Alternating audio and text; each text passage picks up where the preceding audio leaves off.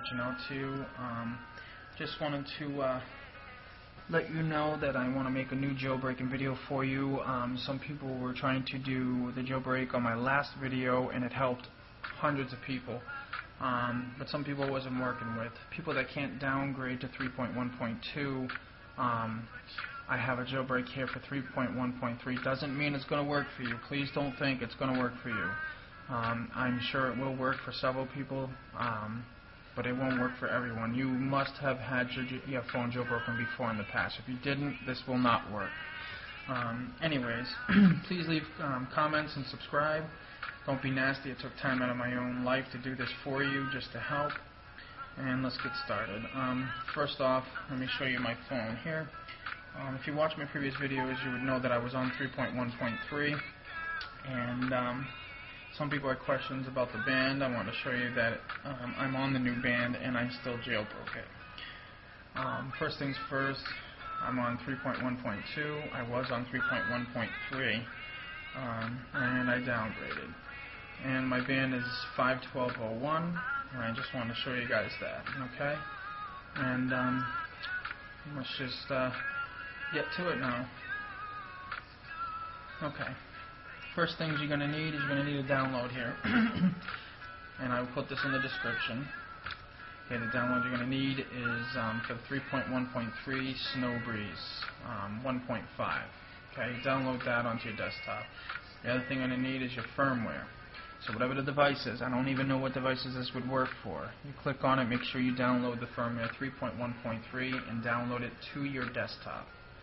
Once you do that, we're going to go in and we are going to uh, download, um, you're going to open up Snowbreeze. Okay? Once you open up Snowbreeze, you're going to get a um, little dialog box at the beginning here, just stating that if you uh, pay for it, demand a refund because you can't charge. Accept it, you'll see that it says 3.1.3. Hit next. Go into expert mode. Always go into expert mode. Hit next going to look for the firmware you downloaded, 3.1.3. Once you find it, you're going to open it up. Hit OK. It's going to process to make sure that it can be used. It says that it can be used. It also says um, that your device must have been jailbroken prior to this. Hit OK. Go next. You're going to go and click onto General. Hit Next. Now, if you are an AT&T customer, make sure that activate the phone is not checked. Is not checked. If you um, are not an AT&T customer, then make sure that it is checked. I do recommend that add the Snowbreeze iPhone app onto your phone. I also recommend to put this at 1000 MB. Hit next. If you need to unlock, just read these here. It's for the 3GS and this is for the 2G. Don't check it if you don't if you're an AT&T user. Go next. Click to use Cydia and Rock, whichever you prefer, um, and then you would hit next. Here you don't need to worry about. Just go ahead and hit next. Here is a nice thing about this is you can actually change your boot logo and your recovery logo. If you already got pictures, browse for them, put them in.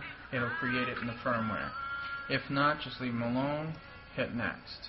Next thing you want to do is click on Build. IPSW. Click Next. This takes a while. This is going to extract.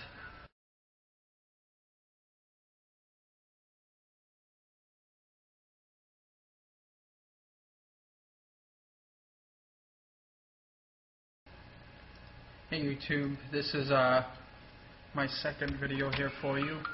Um, it's part two. I want to show you that the ISPW was created. It will show you that it says done. Okay. Um, so right here it tells you that uh, connect your iPhone 3GS and enter recovery mode. After that, launch iTunes and hold down Shift while clicking and restore buttons in iTunes. Hit OK. So now you're done with this. You can exit completely out. Now on your desktop, you're going to see right here that this is the custom firmware that was created. Okay.